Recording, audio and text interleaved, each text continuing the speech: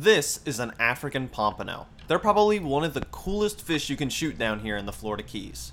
If you're wondering why I haven't shot yet, it's because we already have our limit of African pompano in the boat. There's nothing illegal about pretending to shoot them though. For the full video, check out my YouTube channel, link in bio.